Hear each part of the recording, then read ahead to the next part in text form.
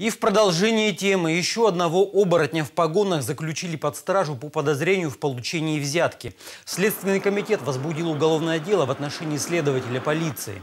По данным сыщиков, старший лейтенант был задержан при получении 600 тысяч рублей. И это была только часть вознаграждения за прекращение уголовного дела в отношении фигуранта, подозреваемого в преднамеренном банкротстве. Всего же стороны договаривались передать полтора миллиона. Преступление пресекла служба собственной безопасности УВД. Сейчас следователи уже предъявили обвинение следователю органов внутренних дел, а также он по ходатайству органов следствия арестован судом, избрана ему мера пресечения в виде заключения под стражу.